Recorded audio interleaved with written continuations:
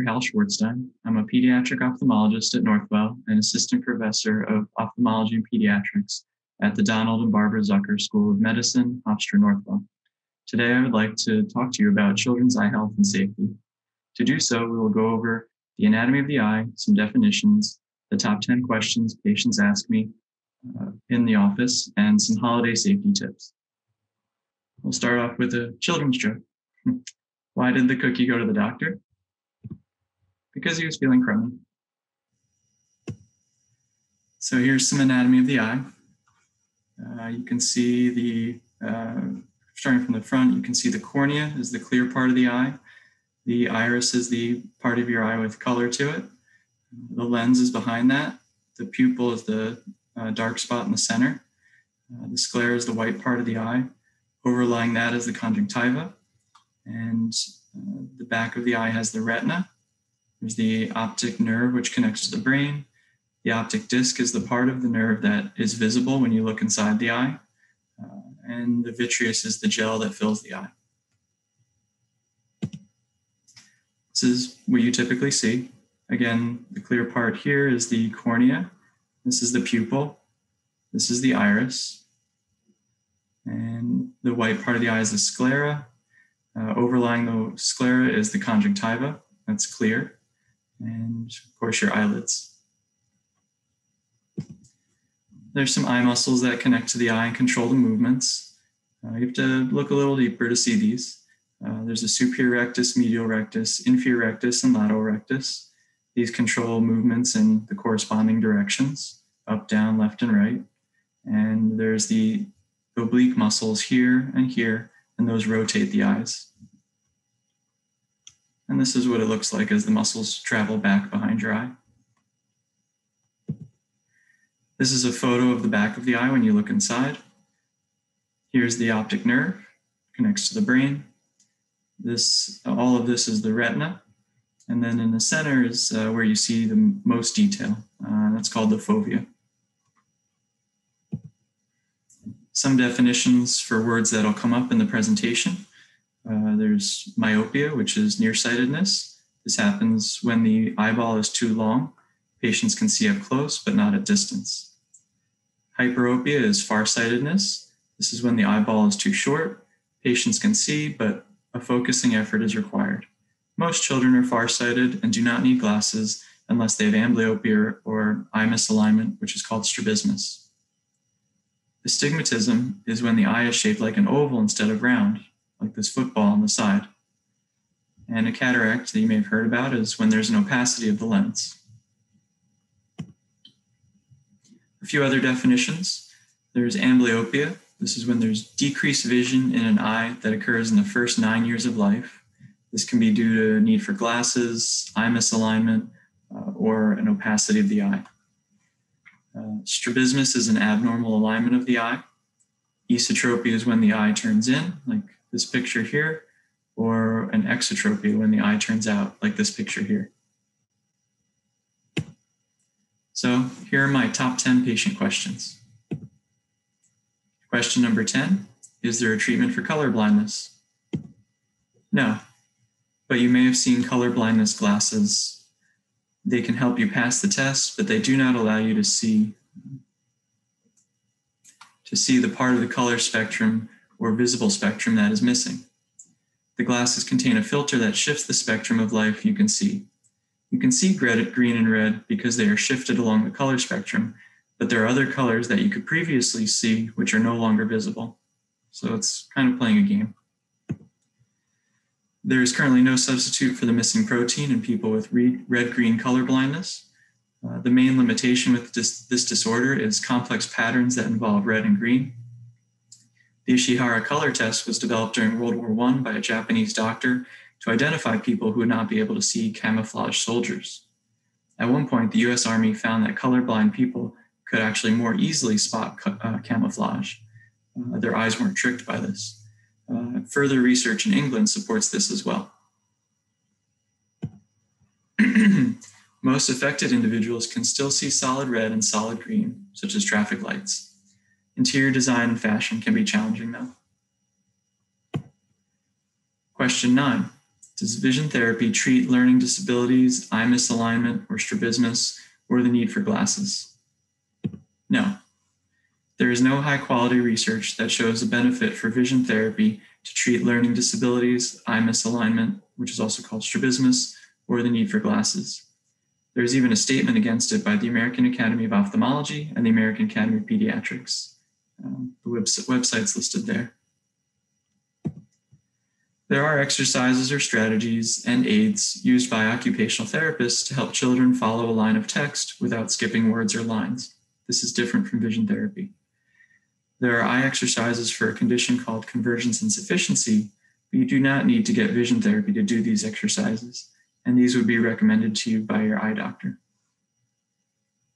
if needed. Question eight Does my child need an eye exam every year?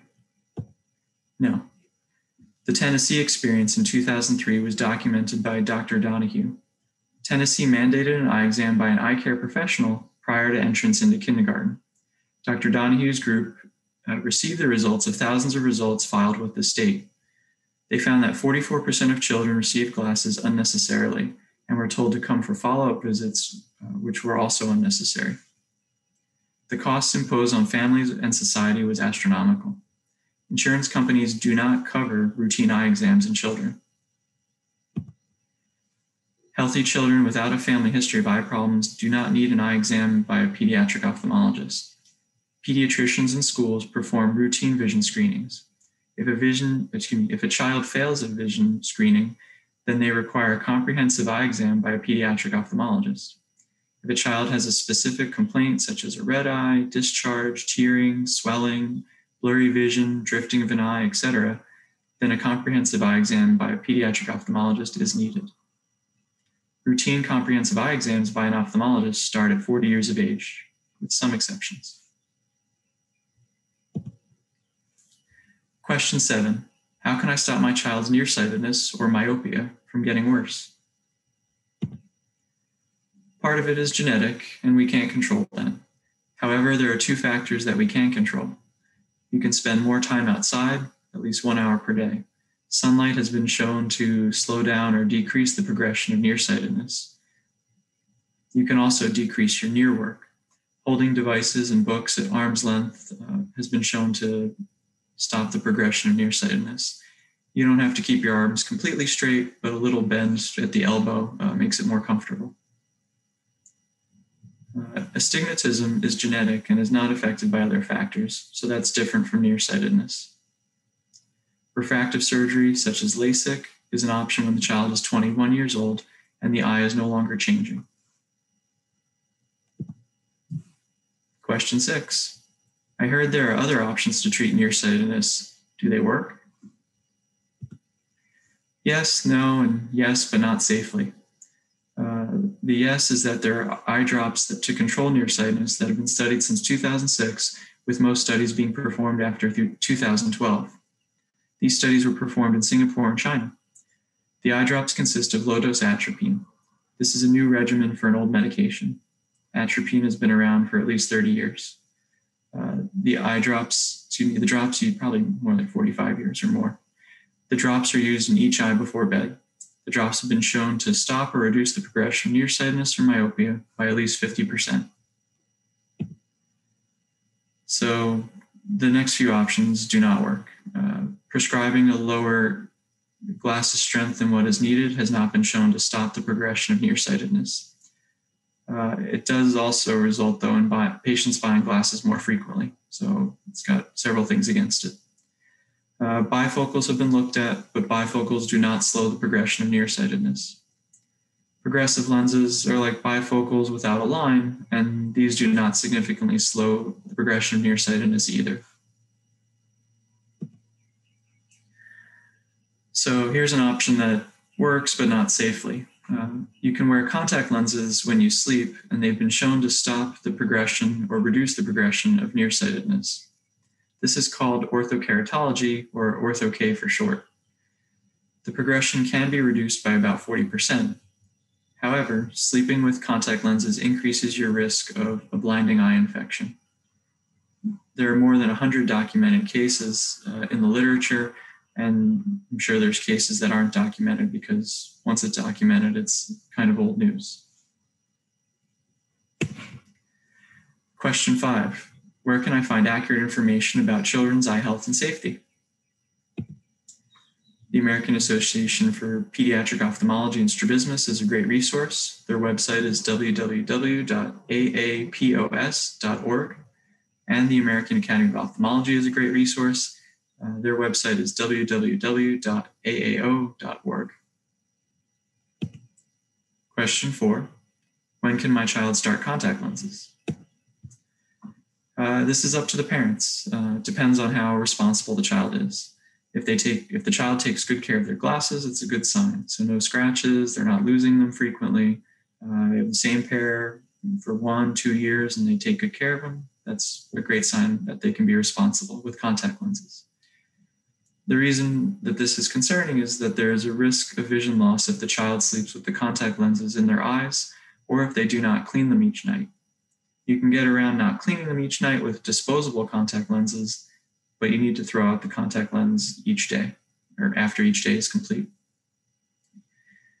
Uh, but if you don't want me to avoid the question, the average age that people get contact lens or children start contact lenses is 14 years of age. Um, I do use special contact lenses in babies who undergo contact, uh, cataract surgery. So uh, you can use them, you know, at very young ages. Uh, and I've had a few patients use regular contact lenses at ages as young as nine years. Uh, however, there was very close supervision by their parents, and the parents just used the contact lenses for cheerleading or dance competitions and then took them out right after. Question three Do I need glasses that block blue light? No, blue light can cause cell damage, so the studies do show that. Uh, but these studies were done in uh, cells that are not found in the eyes. Uh, we have pigment in our eyes that protect, protect against blue light. The sun emits more blue light than our devices do, and the sky is blue. Um, however, blue light is important because uh, screen time uh, can have an effect on children. Uh, blue light can disrupt your sleep cycle and make it harder to fall asleep. As a result, you should try to limit screen time or filter blue light before bed. The American Academy of Pediatrics recommends limiting screen time also to avoid childhood obesity and the onset of attention deficit and hyperactivity disorder, or ADHD. Question two, uh, what is lazy eye or amblyopia? Amblyopia is the medical name for lazy eye. Technically, lazy eye is not an eye that wanders, drifts, or crosses. It is also not a droopy eyelid. A lazy eye or an amblyopic eye often looks perfectly normal. This is the big problem that we as pediatric ophthalmologists uh, are looking for with vision screenings uh, through the help of pediatricians and other, other, uh, other health professionals. It is the single, single largest cause more than all other causes combined, of vision loss in one eye for children in North America. Amblyopia or lazy eye is when something prevents normal development of vision in the affected eye, and sometimes both eyes. It can be caused by high astigmatism, high nearsightedness, high farsightedness, cataracts, a droopy eyelid, or an eye eye misalignment, among other things. A failed vision screen is a very important red flag. Please see your eye doctor within six months of testing. And question one, to go over what we said in question five, where can I find accurate information about children's eye health and safety? You can go to the American Academy of Pediatric Ophthalmology and Strabismus at their website, www.aapos.org, or the American Academy of Ophthalmology at www.aao.org.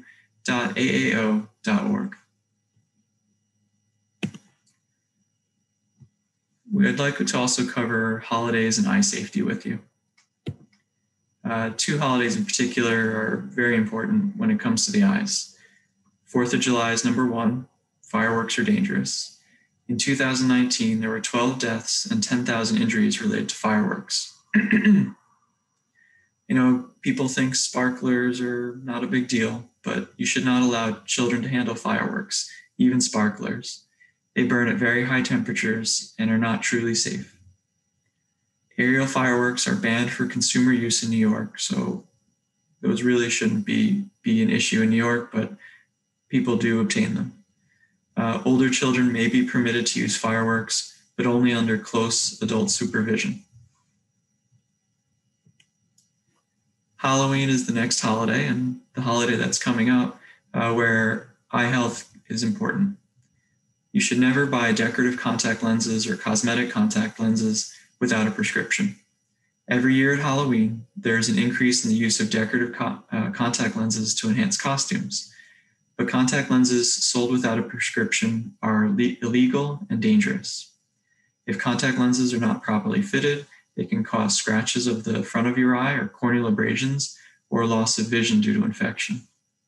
So please be careful. That brings us to our conclusion. Again, I'm Dr. Schwartzstein, and I hope you've enjoyed the presentation and found it informative. I encourage you to discuss the, the information presented here further with your eye doctor. I also encourage you to read more about the topics presented. Another children's joke before I go. Uh, why did the teacher have crossed eyes? Because she couldn't control her pupils. Okay, thanks for, thanks for watching.